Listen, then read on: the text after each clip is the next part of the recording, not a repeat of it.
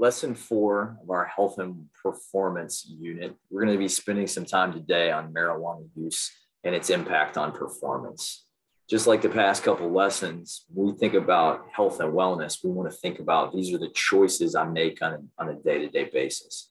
Okay, so when we're thinking about the use of marijuana or any substance, it falls into this category. Unless something is prescribed to me, I am choosing to use. I'm choosing to engage in that type of activity.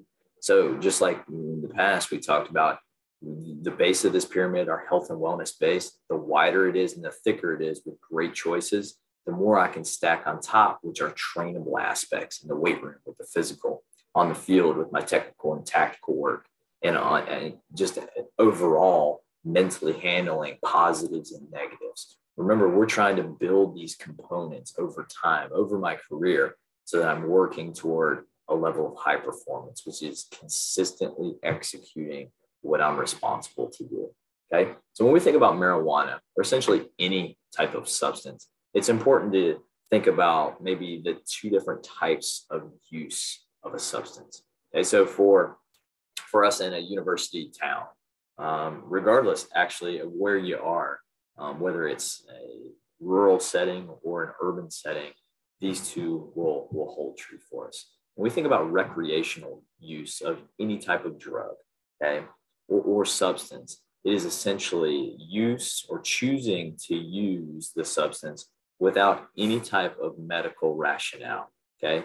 So there doesn't exist a prescription. We've oftentimes not talked to a physician. It's my choice to use it, oftentimes for fun, uh, maybe for pleasure, or essentially for a purpose, maybe that I've even self diagnosed.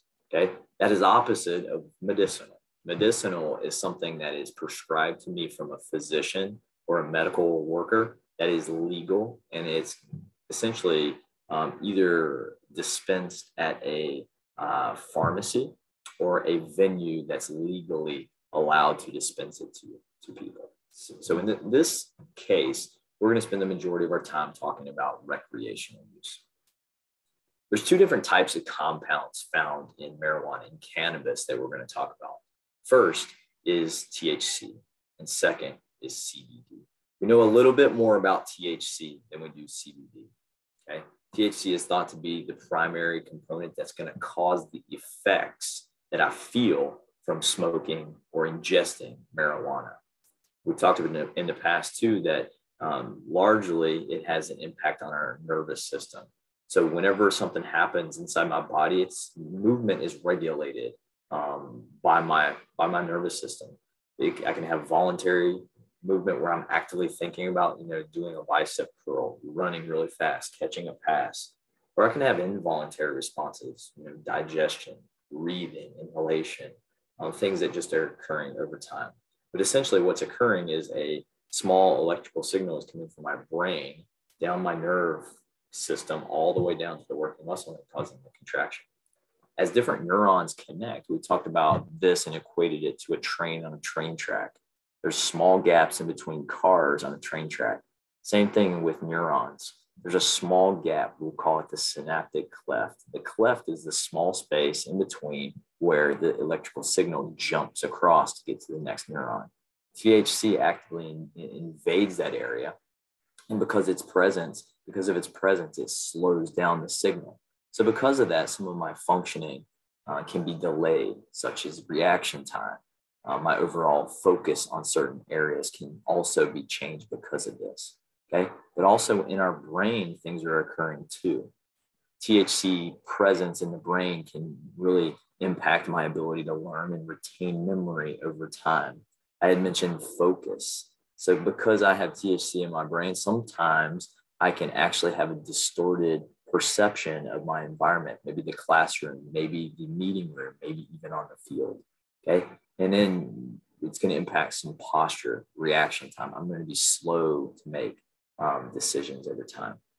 An interesting thing with dopamine dopamine is a, a chemical in my body that is released when, as almost like a reward response.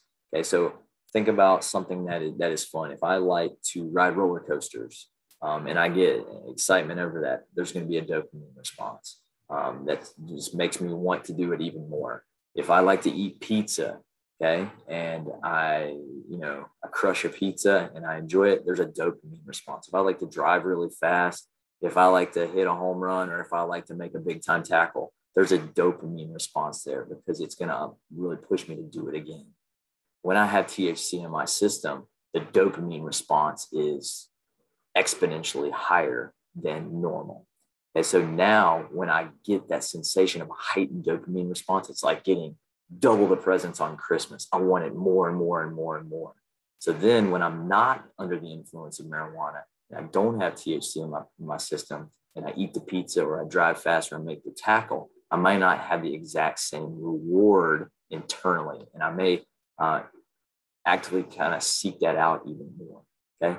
Down here at the bottom, too, we got some other impacts just on performance not, not only with the slowed reaction time and the altered perception of what's going on, even balance, but THC in my body can slow down or change heart rate.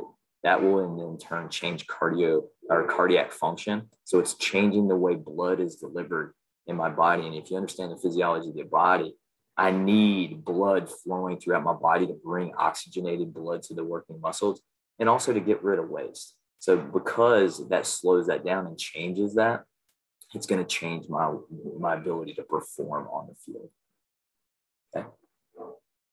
Now, when we think about CBD, this is an interesting molecule and it's really picked up in terms of how we are studying this in athletic performance and, and in the medical community.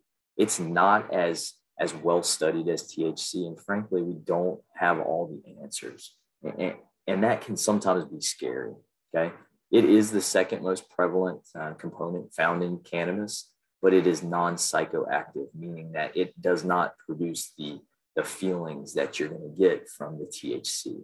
It's thought because it binds a little bit different than THC does that it's not going to cause those effects of euphoria and, things that may be common with with uh, typical marijuana use or with THC being present in the body. Okay. Now, THC, I'm sorry, CBD is used quite quite often in the medical community um, because it, binds to some of the receptors in the nervous system that causes um, maybe our pain response, the way we perceive pain, to maybe slow down a little bit. Okay, it's inflammation, same kind of deal. And this is kind of where it's up for debate. We just don't know enough yet to definitively say that this is happening. These are just theory at this point. Okay. But basically, what they're thinking is the CB1 receptors are attacking central nervous system components, and that's slowing down things like appetite, memory, mood, and things like that. So, uh, patients that are um, maybe suffering from Parkinson's, where there's some things going on in the brain, when the CBD is present in the central nervous system, it may slow things down so they're not having episodes. Um, you know, if someone that has big time mood swings, CBD, when it's attaching to the CB1 receptors, may actually slow it down. So it actually calms down the mood. On, in the peripheral nervous system, the same thing. Let's say there's a there's a patient that's had pain for a long, long period of time. It's it, the theory is that CBD actually binds to the receptors that are responsible uh, for some of those pain or inflammation and slows it down and it gives the patient relief. Now, the problem is, is it's just unfounded to the point where it's broadcast across all different types of patients. We're still learning the impacts of what this does in the in the short term and especially the long term. The thing too about CBD, which is interesting, is that the location that it that it's that it's sold. Obviously, in certain states, it's dispensed in different areas that's maybe regulated by government, by um, any type of um, you know, legislation that, that's kind of protecting what's in that. There's also different states, different areas that you can find CBD or CBD like products that may not be regulated. And that's the scary thing. Okay. Much like other drugs and other substances, we have to be very, very careful. Okay. So the final thing is anything that we do, um, whether it's going out with buddies, whether it's just driving really fast, like I mentioned, or or or, or lifting weights, it, it exists with a degree of risk. Okay, so I just have to make decisions. So when we're thinking about marijuana use, um, any substance use, we need to understand that it is going to have an impact on my performance. I cannot get around that. It will impact my performance. I need to have the ability now to be mature enough to make the decision. Am I willing to make take the risk? Um, you know, what does the risk reward look like for me? Okay, so take THC. You know, if I smoke marijuana, obviously gonna um, get the feeling of the high, but is it worth the risk of losing eligibility? Um, is it worth the risk of impacting my performance? So does the reward outweigh the risk? When I'm thinking about using other products, maybe some of the T, the CBD products, okay, we just don't know enough about it. So is the risk of the unknown worth the reward that is unfounded potentially? Okay. And then I think if we're ever doing certain things for performance enhancement, we need to think about what are the things that I'm doing that cost me nothing and that have minimal or no risk at all. Am I sleeping right? Am I eating right? Am I making proper decision, decisions that can really lay the great foundation? What we're talking about is essentially one and zero. Okay, every decision, I'm going to have a checkbox. I'm either going to get a win or I'm going to get a loss. What we're trying to do is stack more wins, more better days, more better decisions, more better choices than we are in the loss column. So, so every decision we make, let's think about one and.